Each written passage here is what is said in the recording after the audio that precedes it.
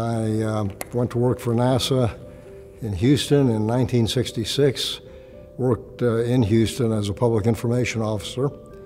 I started doing mission commentary on the first of the Apollo missions, Apollo 7. And on 11, I was assigned to the uh, shift with Gene Kranz that was going to be the landing. Altitude now 21,000 feet, still looking very good. Velocity down now to 1,200 feet per second. You're looking great, uh, Eagle. Well, I started at NASA in 1966 in the middle of the Gemini program. I was 26 when I arrived. I was 29 when we uh, did the lunar landing mission. I had a background in broadcasting, whereas most of the NASA public affairs staff had a background in uh, newspapers, writing press. When I got involved in mission commentary, I did both jobs. Uh, we, we had a small staff. We only had about seven or eight people who were media specialists who had to deal with a, a press corps of 3,000.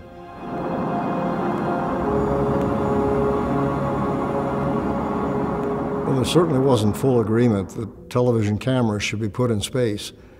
One of the principal people to assure that that happened was Chris Kraft, the director of flight operations at uh, Houston.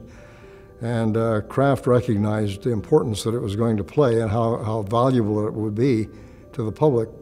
In a sense, a lot of what the public gets from a space mission is the imagery. Uh, the scientists get the scientific data, but the public gets the imagery. And Kraft, I think, intuitively recognized that, got behind having television, and I suspect it would not have happened had it not been for Kraft or someone like him. How is the quality of the TV? Oh, it's beautiful, Mike. It really is. Oh, geez, that's great. Is the lighting halfway decent? During Apollo 11, I did the shift for the lunar landing.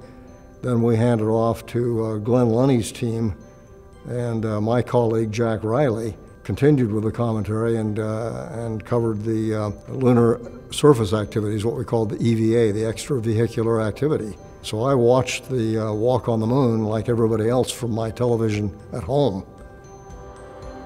It's one small step for man, one giant leap for mankind. The mood in mission control as we got closer and closer to the surface of the moon was a combination of both excitement and concern because they were very low on propellant. And uh, as Charlie Duke said, after the landing was successful, you got a bunch of guys about to turn blue, were breathing again. And that was literally true. Everybody was holding his breath for the, that last uh, 60 second countdown to uh, fuel depletion. Hey, 75 feet. Guys looking good, down a half. Six forward. 60 seconds. Lights on. Forward. Forward. 40 feet down, two and a half. Picking up some dust. When Armstrong reported the Eagle has landed, even though the viewing room behind us had glass walls that thick, we could hear the roar from, from those people in the viewing room as, uh, as, as, they re reacted to it. And, um, uh, but the flight control team did not. They, they had too much, too much still to do.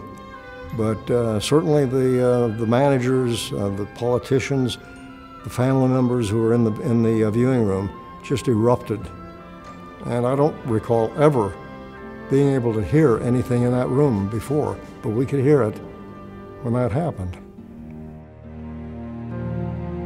I was told by uh, a colleague uh, after the flight that uh, he had been in a restaurant after the landing, and uh, there were a couple of um, average Joes sitting there having their breakfast.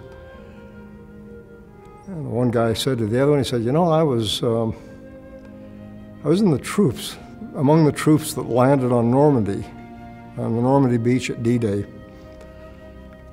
Said, "I have never been as proud of this country." as I was after the lunar landing. He kept his composure, but he, when he walked out of the restaurant, he lost it. So he just broke down. And I, I think, um, I, I, think that's, that is a, is a kind of a profound statement of uh, the impact that it had on, the, on people.